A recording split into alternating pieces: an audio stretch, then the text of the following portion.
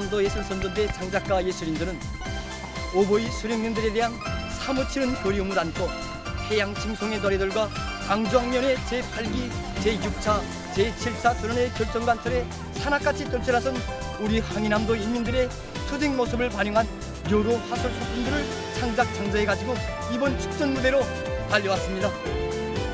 축전 준비에 나라는 정말 위대한 수령님들이 한없는 사랑을 더더욱 깊이 새겨하는 뜻깊은 나라들이었고 위대한 수령님들의 유물을 높이 받들어 나라의 기본 도창지된 항남도 인민답게 당이 제시한 알곡같이 존중을 위한 투쟁에서 자기 본분을 다해야겠다는 결심을 더욱 깊이 새겨하는 잊지 못할 참가해서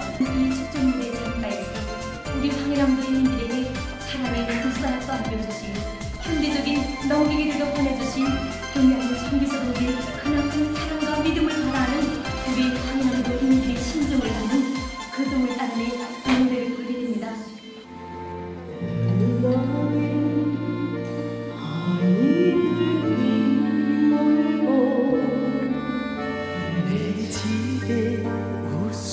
경애하는 김정은 동지께서 황해남도 해주시에서 급성 장내성 전염병이 발생한 것과 관련하여 6월 15일 가정에서 마련하신 약품들을 조선노동당 황해남도 해주시위원회에 보내시었습니다.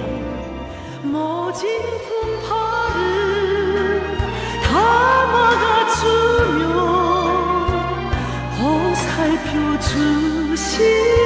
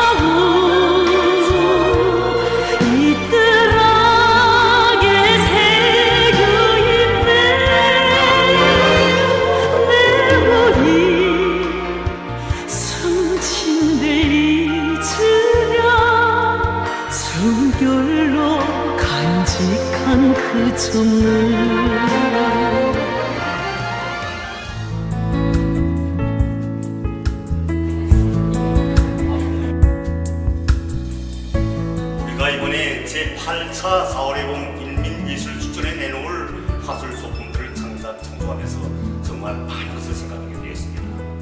과연 우리가 이번에 대양절 축원의 무대에 무엇을 어떻게 노래해야 되겠는가? 그래서 찾아진 종자가 바로 보답이다.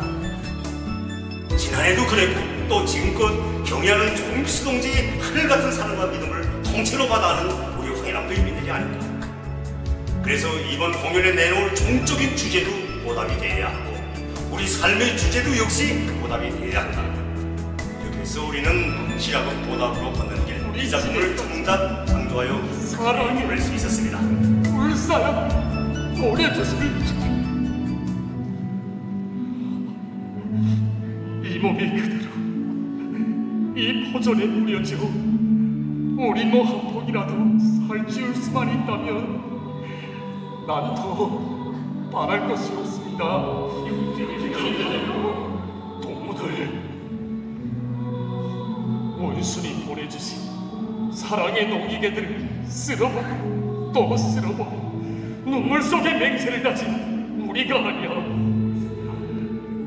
이 몸이 가다 쓰러지면 기어서라도 가고 녹시라도 보답의 길을 걷고 또 걸어.